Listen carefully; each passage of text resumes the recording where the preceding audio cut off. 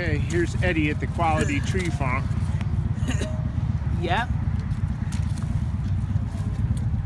This is Sunday, November 29th, Um, and we're preparing to get our Christmas tree.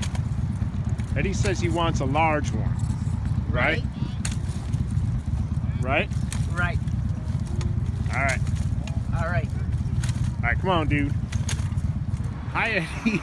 I got the video going, all right? All right. All right. I want to try this again. Uh, we're good. We're good, Eddie. I got the video going, all right? All right. So this is your Christmas tree, right? Right. Yeah.